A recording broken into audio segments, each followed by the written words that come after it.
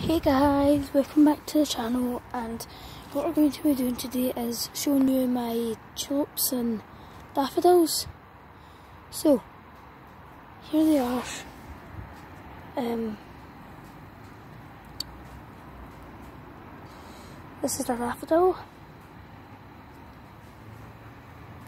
Tulips.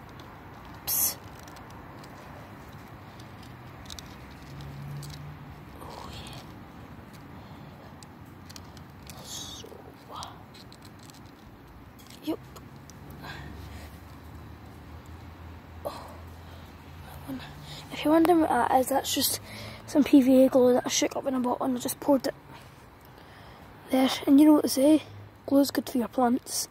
I don't believe it, but may as well just see it.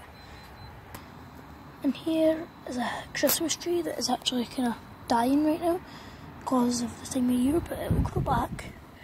So, yeah. And here's a rose bush. You can see, it's kind of dying off for the year and that. So, here's an apple tree. You know, I've had that for ages, so that's just some bubble wrap to protect it. If you know what I mean, in case it ever blows or anything. And here is a tulip. And I think that's a daffodil and a daffodil. Um, it's a tulip, tulip, daffodil, Chop.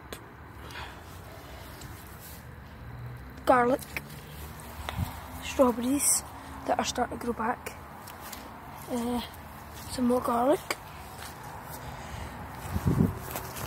another daffodil, and some more daffodils and even more daffodils and another one and then some more tulips so that's all for the video today. Hopefully next to my video the plants should be a little bit bigger and start to flower. So see you in the next video. Bye